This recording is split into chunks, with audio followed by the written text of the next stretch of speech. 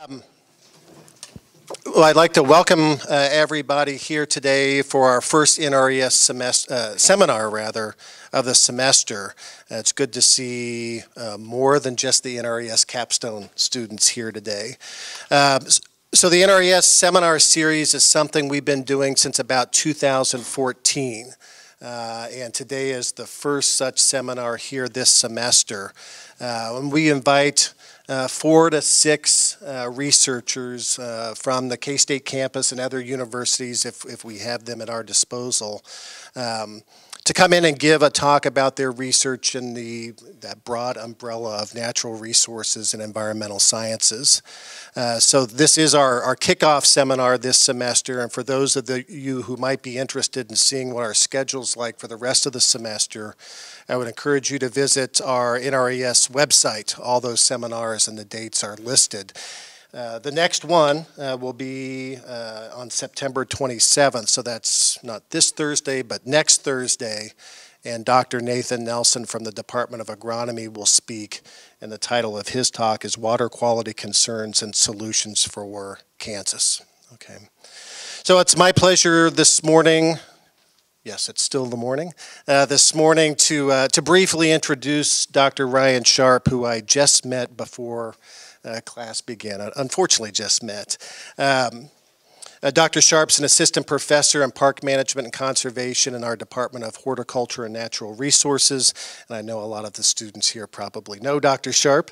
Um, so my little bit of research about him, some of his research uh, interests include environmental stewardship, resource recreation management, parks and protected area management, um, and looking at the effectiveness of educational interpretive programs. And I saw on his website, he's also in charge of the Park Management and Conservation Lab. And he listed uh, what I thought were some real interesting research questions that he and I'm, and I'm assuming students are, are looking at right now. And I thought I would share just a couple of those because I think it's a good tie into what we're going to hear uh, here in a moment. How does interpretation influence visitor and tourist experience? How do we effectively evaluate the long-term outcomes of ecotourism? And how do we accommodate the increasing use of parks and protected areas uh, worldwide while at the same time providing for a high quality visitor experience and conservation of natural resources? So with that very brief introduction, uh, let's all welcome uh, Dr. Sharp.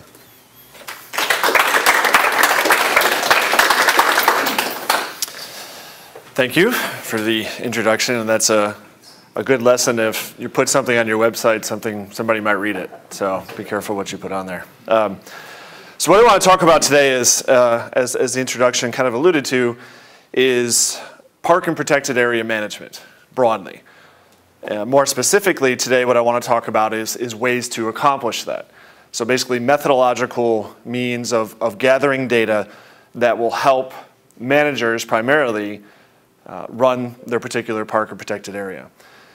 And what I want to start with is just looking at some photos.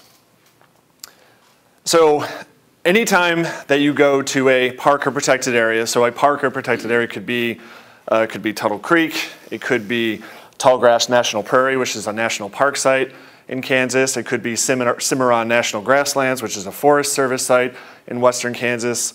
Those are all going to fall under the same purview, right? Or it could be Fort Larned, a historical site which is run by the National Park Service. When I say protected areas, that's going to fall, that all of those will, will be in that category. So inherently, if, you're, if, if visitors are going to go to these places, which we want them to do, there's going to be impacts. There's no way around that.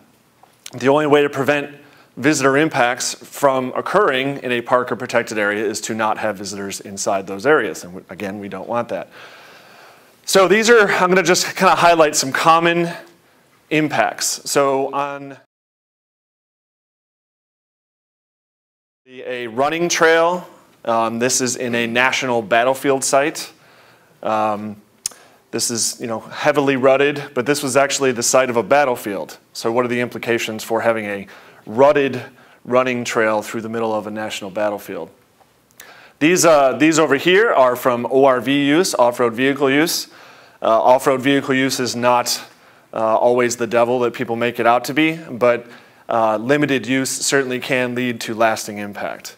Um, it all depends on the condition or the amount of use.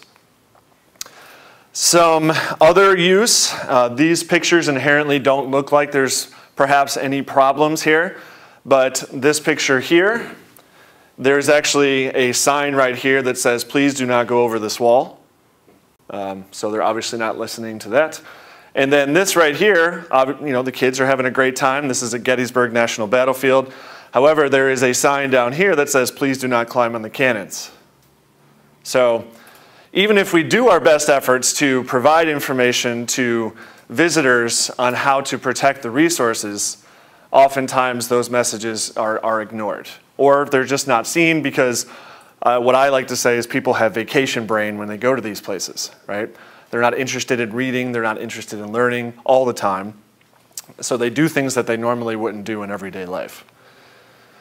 These are cairns. So cairns are trail markers that are used in areas that don't have a lot of uh, trees to use for trailblazes.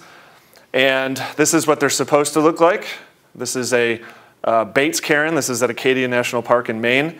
And this is what they often look like um, after a busy day at the park. So unfortunately, either people don't know what these are as trail markers. This top rock here actually points the direction of the trail. And they topple them out of ignorance or they do it because I don't know why, right? Uh, so that's just another visitor use impact. These two pictures, the, this picture here is probably familiar to many people. That is Old Faithful and Yellowstone. And here we have a bunch of people congregated around Old, Old Faithful. Uh, this is actually a pretty light day at Old Faithful in this picture. It gets much busier than that. But there's issues of crowding, and that's perceived crowding and actual density number of people in a particular area. Both of those are factors in this, in this discussion. And then we have things like this, right? You've probably all seen this with, with people putting their names on trees or carving their names into benches. Um, humans really like to see their name on things, uh, so uh, we're always going to have that. And an interesting, we won't get into it today, obviously, but an interesting thing here is if you go to, um, there's a place in, I think it's in Wyoming, it's called Inscription Rock. I think it was on the Oregon Trail. And we see somebody's name from 1875 or 1855 or whatever. That's historic. But at the time, it was probably graffiti, right? So where do we draw the line? Will this ever be historic? You know, Polly loves Matt or whatever. And then we have wildlife. So wildlife, a lot of the reason that people go to parks and protected areas is to see wildlife. We want people to see wildlife. It's great, right? We want to build conservation ethic in people. And one way to do that is interacting with wildlife in, in natural settings. However, this is a large animal, right? And these folks are from here to the back of the wall in this room, so maybe 10 feet, 15 feet away from an animal that if it decides to, can make their day very bad. Um, and then here, this is again in Yellowstone. This is a ranger. This is a black bear.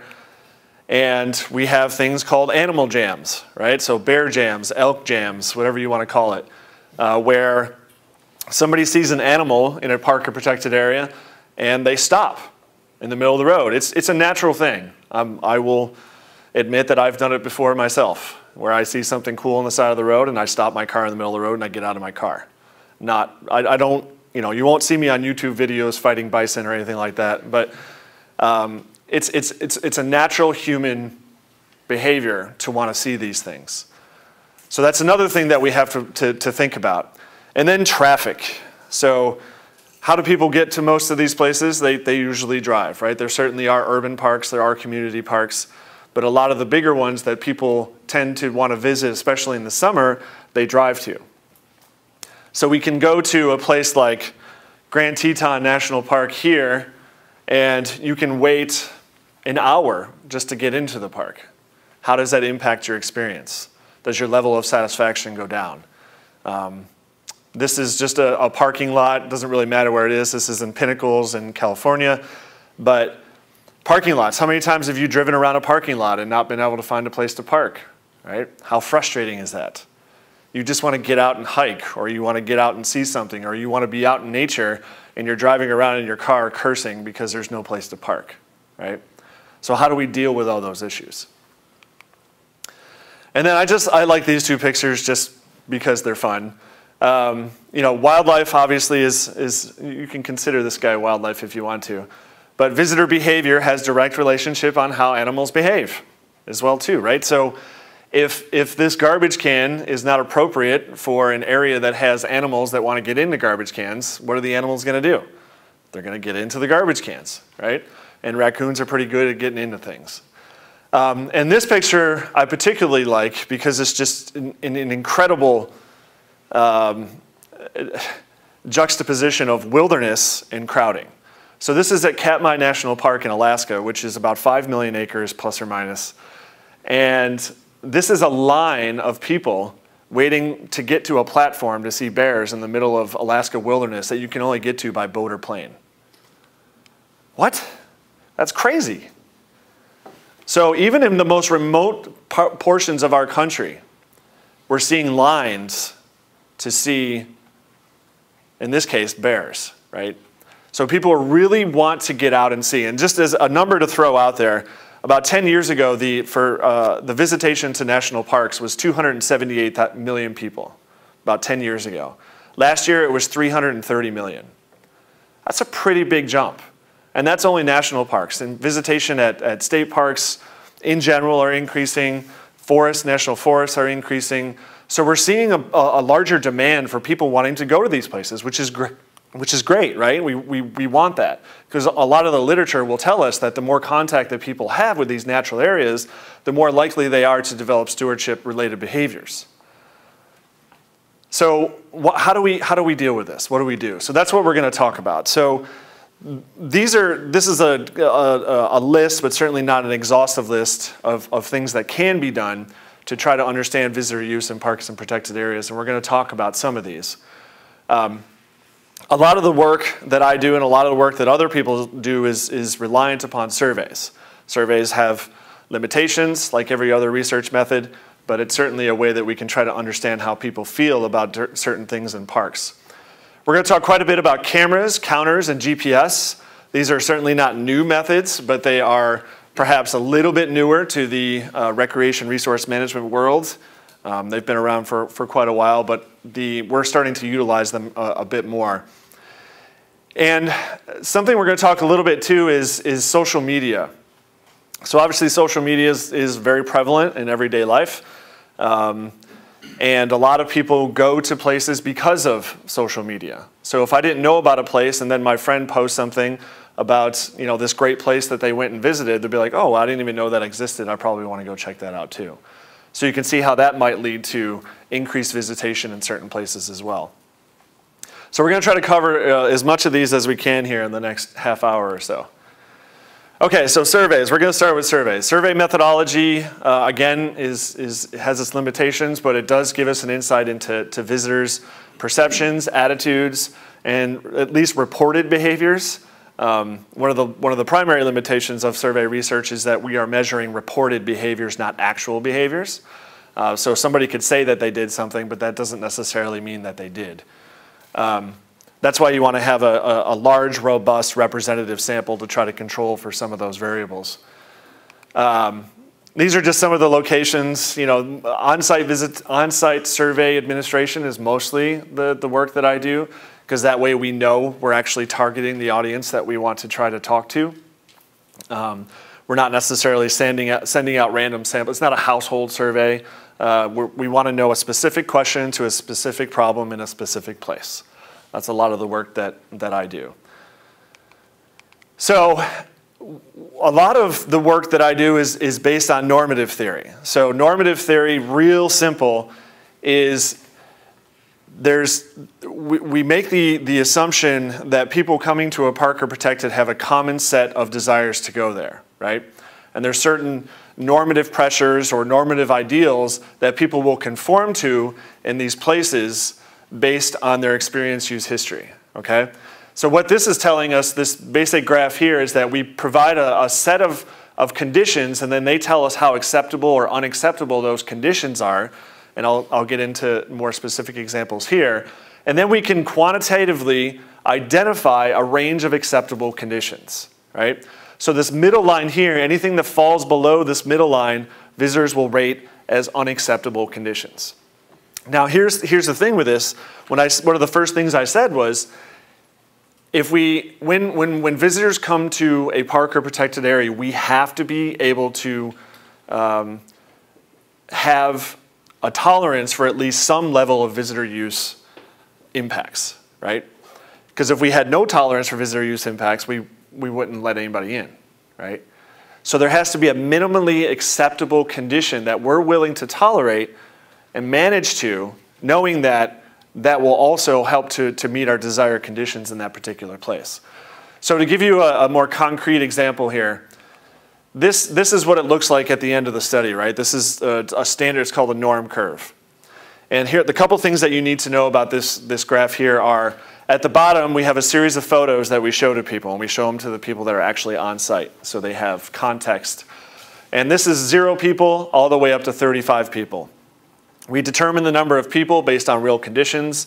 This is in, this is in Aruba.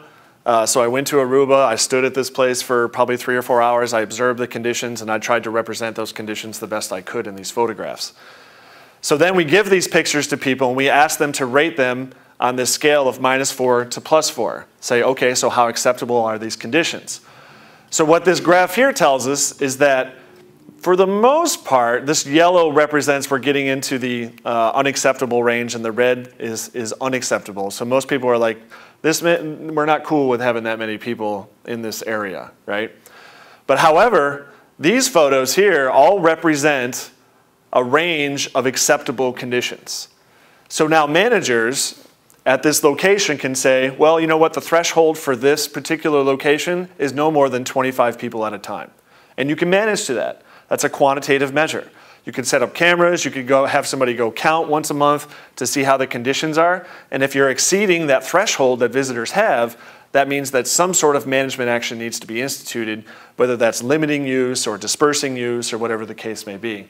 So this gives managers a, a quantitative measure to work towards. These bubbles are basically the standard deviation, more or less. It's called the potential for conflict index, but it's based on variance and standard deviation.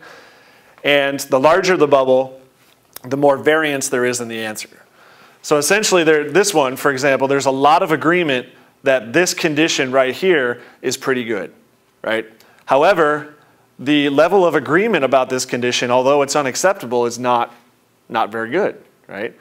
So there's actually a pretty wide dispersal of, of, of answers to that. So we can actually say that it's pretty close to this line anyway, but the standard deviation if I had to guess on that bubble, I don't know exactly, but it's probably on this scale, it's probably about two. So that's a pretty wide range of answers on a, on a, on a scale of plus four to minus four. But either way, this gives managers something that they can hang their hat on and it's justifiable and it provides scientific evidence of why you made a decision to limit use if that's what you want to do. We can also do a similar thing with trails. So uh, trail conditions, and, and I should preface this by saying that almost all the literature points to visitors not having any idea about uh, natural conditions, right? So if you give somebody, if you gave somebody this series of pictures, which we did, they're not going to be real good at gauging those conditions. It's just not, you know, it's not in most visitors' skill set. But you could say, here's a trail, what do you think about that? What do you think about that? What do you think about that? What do you think about that? And then they would rate that on that same scale, right? So, you know, I, if you put in the context of this, you're like, oh, that looks great. But some people might not have any problems with this, right? Like if my kids looked at that picture, they'd be like, oh, cool puddle, right? Um, but in terms of trail maintenance, that puddle is a, is a big problem, right? Other things that we can do with these surveys, so that's looking at thresholds and indicators of quality. Other things you can do with the surveys is try to understand people's preference for certain things. So this one, for example, this is at Buffalo National River in Arkansas. They are thinking about, these are all possible management actions that the, the managers are considering, and we can get people to rank order those, and, and they can tell us which one of those they think is, is most preferable. And um, in terms, we can look at encounter rates um, which is a little bit different than those graphs that we just looked at. But we can overlay, these are different locations within a park right here. And we can overlay people's encounter rates and their desirability for certain encounter rates um, on this graph to see if there's any commonalities or any trends that, that we might want to pull out in terms of management. I, I, hesitate to, to even bring this up, but I will. Um, is a lot of the work, a lot of the survey work. So typically when you do a survey, at least in the past, somebody would walk up to you, they'd give you a clipboard and a pencil and they'd say complete this survey, right? We're moving more towards using tablets instead of uh, tablets such as iPads, instead of paper surveys. There's, there's a couple reasons for that, but one of the primary reasons is people are familiar with the technology for the most part, and it eliminates human error when we put the, the, the data in after the fact. So if we had a thousand paper surveys, somebody has to input that data and that introduces human error into the process. So at least with this, that skips that step, so that's one more thing that we can kind of hang our hat on. However, I want to point this out that this is just one question. We compared a paper survey and a tablet survey, and this is on a five-point scale, five being, um, so we need to take better care of plants and animals, five being uh, strongly agree and one being strongly disagree. This is the mean for the paper survey. This is the mean for the tablet survey. And we had pretty good ends, right? So 172 and 129. So it wasn't just like five people. So what that tells us, or at least uh, leads us to probably explore this a little bit further, is maybe there's a difference between tablets and paper surveys. Um, so that certainly needs to be explored further. okay, so that's, uh, that's all quantitative data that we can get from, from surveys. You can also do qualitative work. So qualitative is, is more in-depth. Uh, with quantitative, we want a lot of numbers. Uh, we want to try to have representative samples. With qualitative, we're looking at much smaller uh, number of people that we talk to, and we're trying to get more rich data um, out of those individuals that we're talking to. You can think of uh, focus groups as an example of, of something that you could use qualitative data, or a way that you can utilize qualitative data. So we'd ask people questions, and these are the kind of outputs that you would get, right? So you develop themes. So if we talk to uh, 20 people and we asked them all the same question, we would go through their transcripts and we would see that there's themes within those, those 20 people that we talked to. We'd pull that out and then we'd be able to get some general information about what people think. So it's qualitative data. Won't talk a lot about that. Okay, some, some, some more objective measures. So the surveys and the qualitative interviews are more subjective data, right? It's people's thoughts, their perceptions, their ideas. These human behavior cameras help us to, to, to capture more quantitative data, right? Less, more objective, I'm sorry, more objective data. So it's not reliant upon the visitor telling us what's going on. So what we can do is we can take these cameras, and these, these are all hidden in this area here, but there's three cameras here, and basically they're pointed at a visitor attraction, and we can see what visitors are doing. We can, we can observe their behavior, but in most, count, most times we're trying to, we saw those, uh, uh, the norm curve earlier. So we can look at the pictures that we're taking with these cameras, compare it to the norm curve, and see if people are even perceiving the number of people uh, correctly, right? So we can take the subjective and the objective data and, and, and compare the two to get a more robust sample and better understanding of what's happening at these places. So this is an example of a camera placement and what we're doing. This is at Buffalo National River. We put a camera here. Nobody can probably see it because it's not big enough, but it's right there. And we put that camera across the river because we were interested in seeing this. So this picture doesn't convey it necessarily, but this is a very popular put-in at this river. And the managers here were concerned that this place was overrun with visitors um, during the summer especially. So basically this camera takes a picture every 15 minutes and it gives us a general overview. We, don't, we, we only check these cameras about once every three or four months. So if we put it at any more than 15 minutes, the camera would die within the first week or two, right? Um, and these things take about 12 batteries each. So we can get this data, and then what we can do with that data is we can, and we also, so this right here, this is our objective data, but we also had a survey that went along with this and here's the survey results, okay, saying the, the uh, range of acceptable conditions, these are the number of people, right, in, in, in their viewscape. And then what we can do is we can take the camera data and we can place what people said, which is about 23 people is our threshold, and we can place that on the camera data right here, and we can see that you know what, we exceeded the threshold, but only a couple times, right? So maybe this place isn't nearly as overrun as, as the managers thought it was, right? I think humans have a tendency to see the worst set of conditions and then that's their baseline, right? But what this does is this says, yeah, okay, you have a couple days where things get pretty crazy. Um, and if we look at the dates, we can see that they don't really show us a whole lot of trends for this, but a lot of times they correspond to holidays, which makes sense. So we just, this, this gives a ground truthing to the managers to say, okay, yes, it gets very busy, but it probably isn't as bad as you think it is. Certain places it actually is, but in, in a lot of cases it, it is not. We can also use GPS to track visitors. So when I say track visitors, I'm not saying we're collecting all their personal information or anything like that.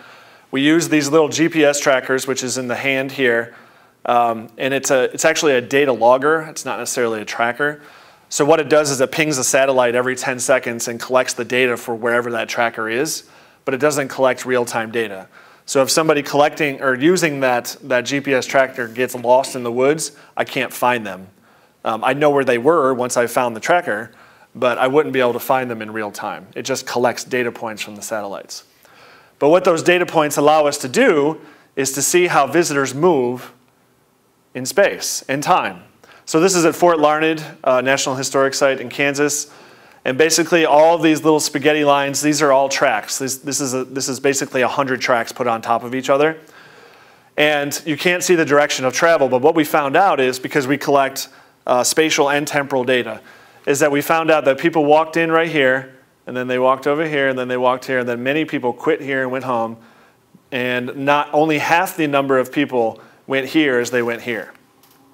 So that's valuable information. It's like, okay, why aren't people going to the other side? Uh, because there's some really cool stuff over there.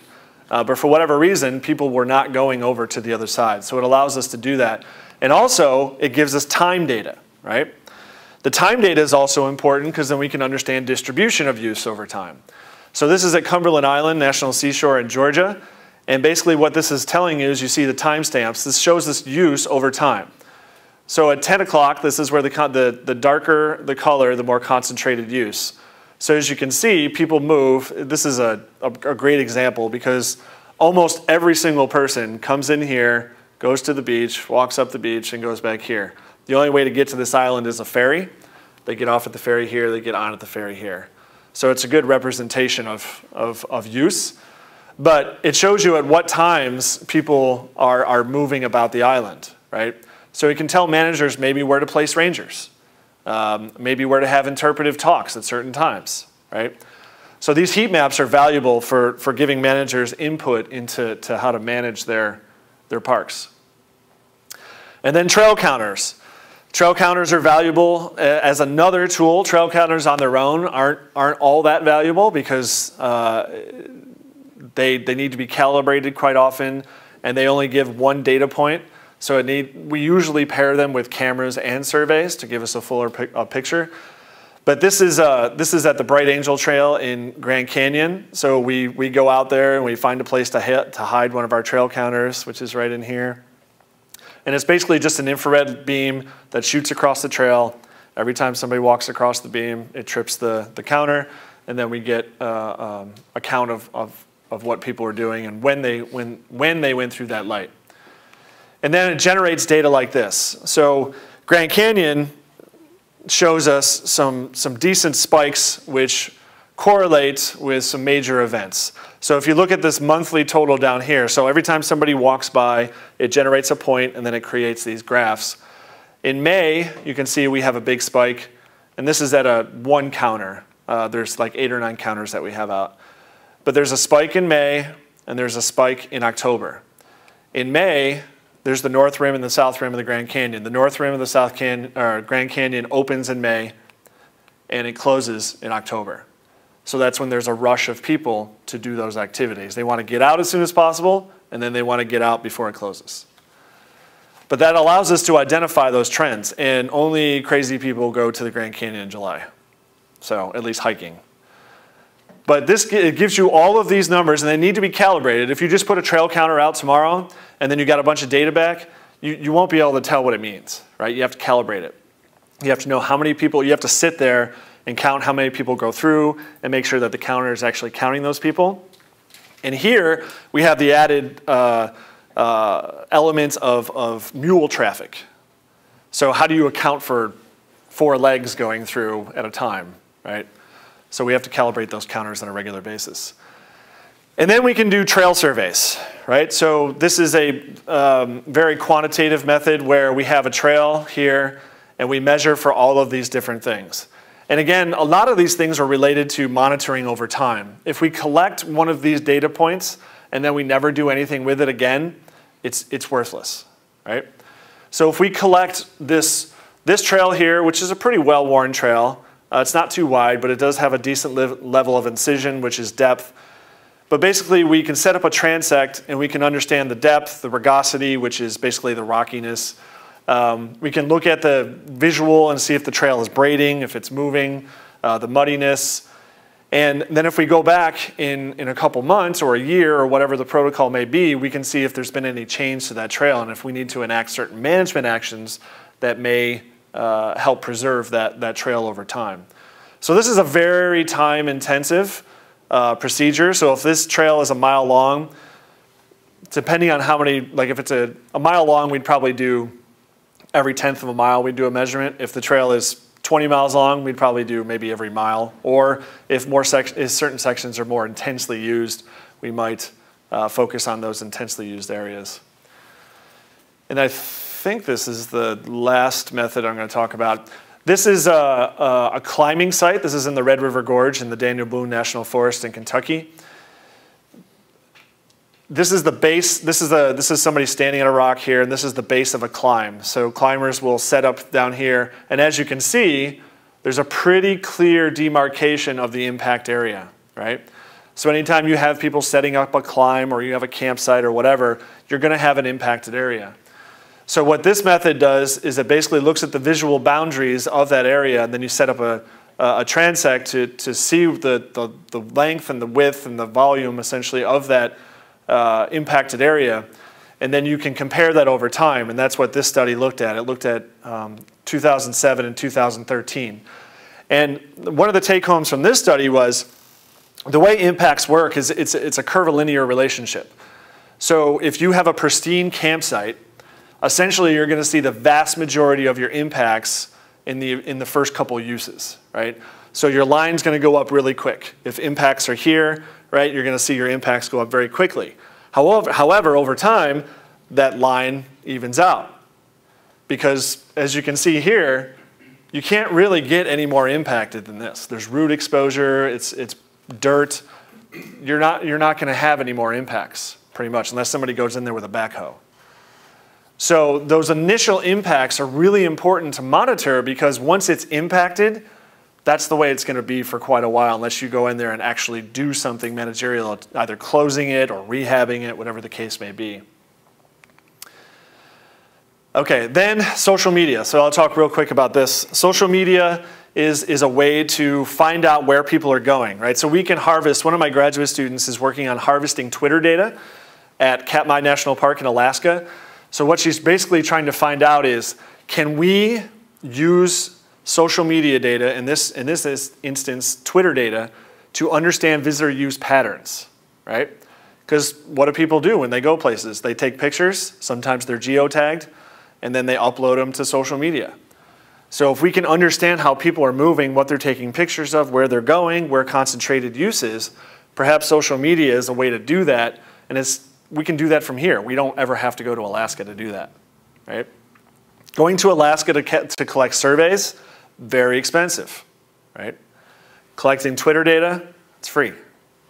I don't know if it's going to work yet. She's working on her research right now, but that's kind of what we're thinking.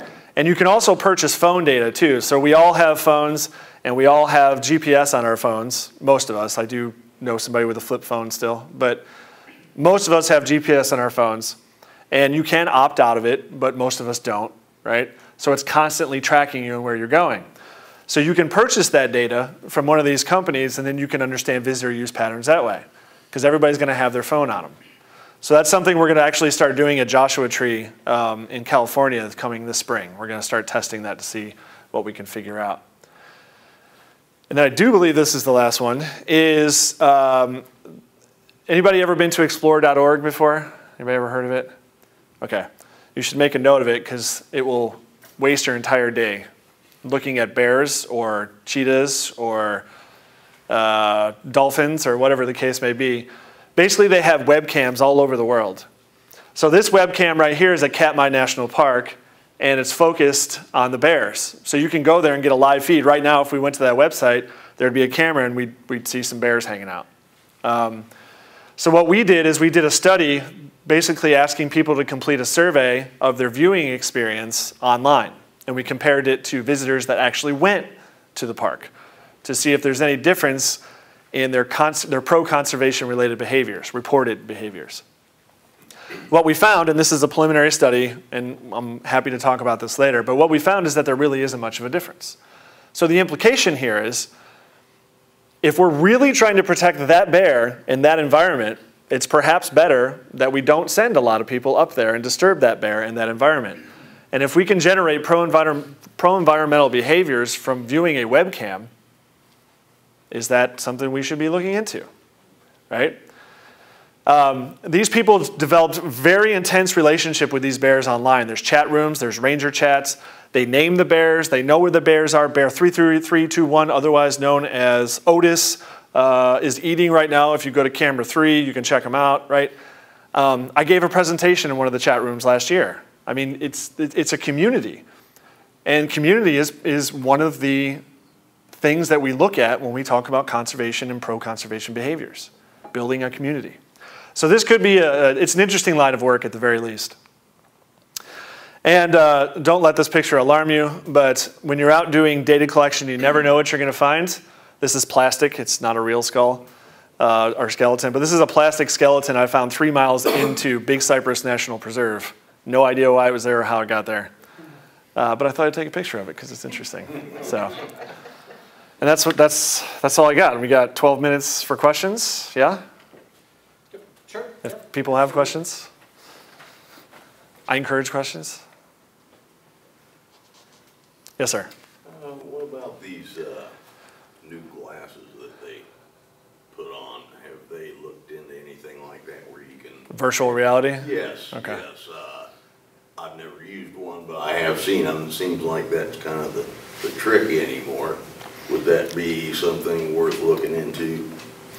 Maybe? I, I, I think it would be I think it would be worth looking into. I don't know of any research related to that. Uh, Perhaps somebody has done it, but it's it's one of those. I think it's related to the webcams. Is that if if our ultimate goal is to build um, pro-environmental behaviors in people, does it really matter how we do it? Like if we do it wearing virtual reality glasses or we do it looking at a webcam, if the ultimate result of that is that somebody donates to the Wildlife Society or somebody, um, you know, uh, changes their behavior, they, they stop buying palm oil because it's destroying orangutan uh, habitat in, in Borneo, right? So it's how do, how do we, how do we cultivate those behaviors that we desire? So I, I, all those things are, are relevant lines of inquiry.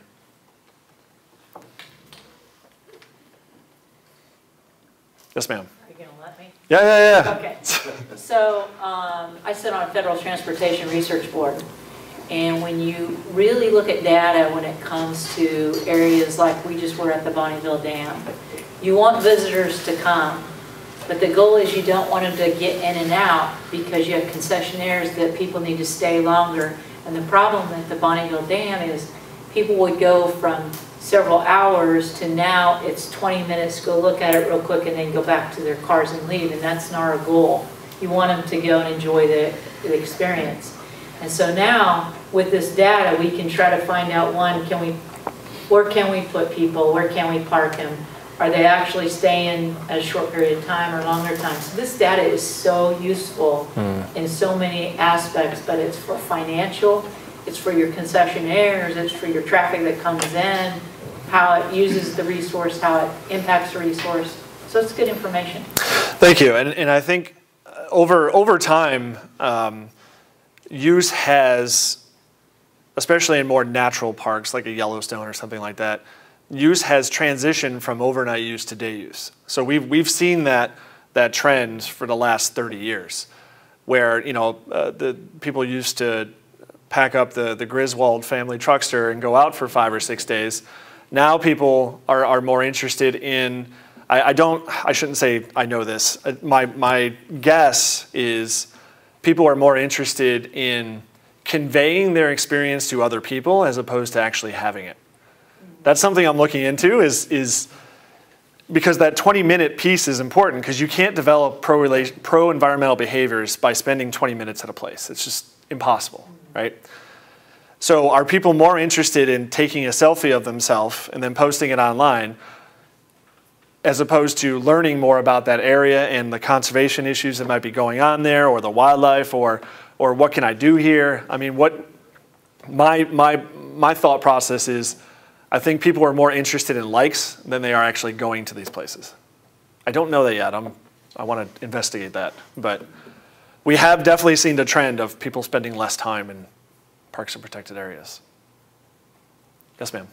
Um, I was doing some research this summer and looking at various mountains, like just on Google Earth, and they've synced a lot of like the 360 pictures you can actually zoom in on Google Earth and you have these like pinpoints of 360 pictures that then are connected to a website. So um, it seems like there's a lot of this like out there, but how do we create like a comprehensive kind of assessment of it? Like if people are just voluntarily putting stuff in, how can we see it from like a holistic perspective and use what we already have?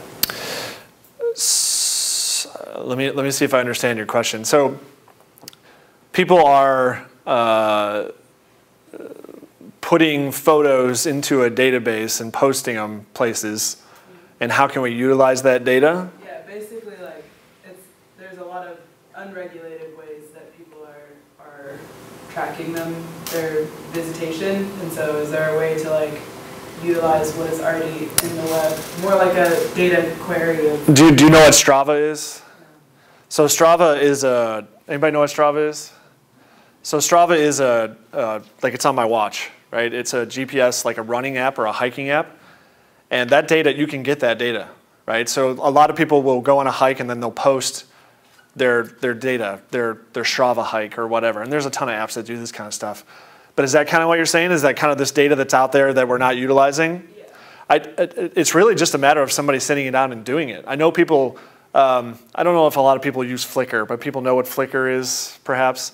Um, it's not as utilized as it used to be, but there's a lot of work right now, uh, or at least the last three or four years, of people using Flickr photo data, photo data, to understand visitor use patterns in places like um, uh, Tanzania and Kenya and some of these wildlife parks, because those photos are, are, are geotagged, and then we can understand when people were places.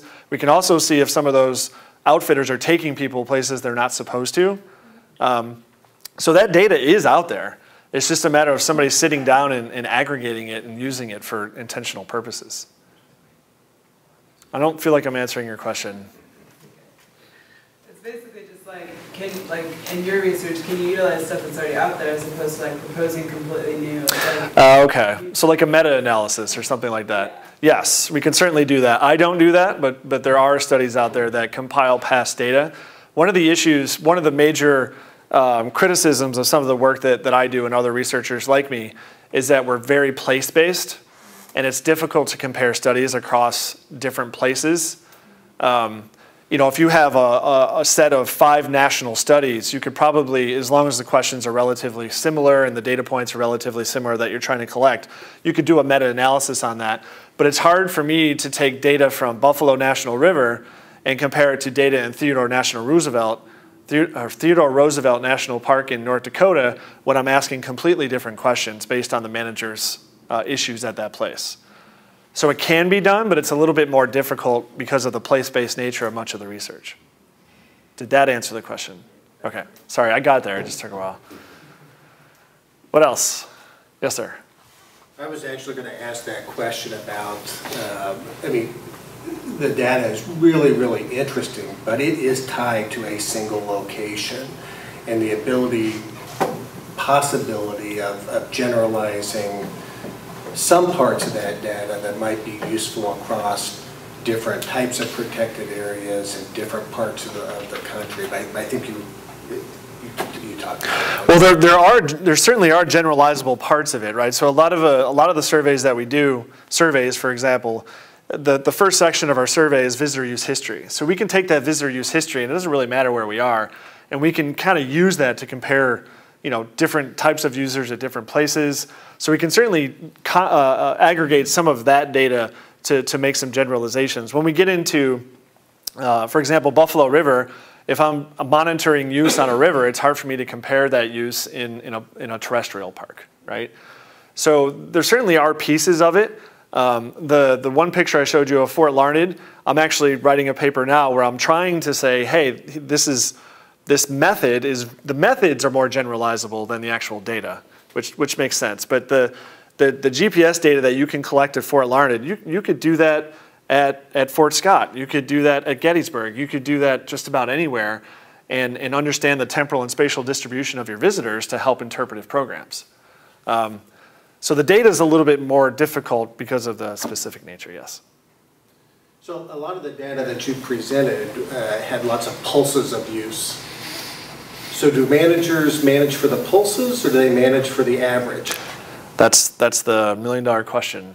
Um, so one of the textbooks I have my students read, uh, one of the first chapters is there is no such thing as the average visitor, um, according to Bob Manning. And uh, that's the, the, the danger of managing to the average is that a lot of parks have very different constituents and stakeholders, right?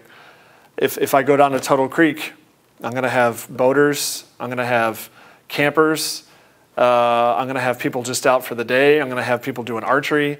If you average all of those people's thoughts, you could come up with a mean, but it's, it's, it's, that mean isn't going to mean a whole, lot, a whole lot, right? So I think what managers end up doing is they end up managing for those, those pulses because they see that. I think what I said earlier is I think a lot of times managers tend to see the worst conditions and use those as their baseline. So I think that's what a lot of them are managing too. Um, and frankly, it, it comes, there's, there's a question I didn't actually pose earlier, is that there's two, there's two main things that all managers, especially for protected areas, need to consider, right? Um, are we protecting the resource, whatever that is, and are we providing experiences for, for visitors? Those are the two main things that most, there's a lot more to it, right? I'm simplifying it, but those are the two main things that most people that are managing a park or protected area have to consider. And those two things don't always line up, right? They're actually in conflict. How do you provide opportunities for visitors to do what they want while still preserving and conserving an area? Oftentimes that doesn't work. So that's the ultimate tension in this research is that you want to provide visitors with opportunities to do things, but how do you set those minimally uh, acceptable standards that still preserve the resource while allowing visitors to pursue the activities that they want to? That's, that's the ultimate question. And I, if, if somebody in this room can answer that, then you can have my job, right? Um, it's, it's, it's very difficult to answer. I got one minute. I'll say one more thing. Yeah. And your finances go to those polls. So you, you seem to, or at least we do, we put our money to where those high-use areas are. Yep. Which, which could lead to other places not getting the resources they need, right? That's right. Sure. But trying to identify those pulses can, can perhaps I, you know, open managers' eyes a little bit and say, okay, yeah, we do have an issue, but it's not nearly as often as we think it is. Right, So I, nice. perhaps a better way to allocate resources. My time? Time for one more question, if anybody? All right, I'd ask everybody to join me in thanking Ryan for a really interesting. Thank you.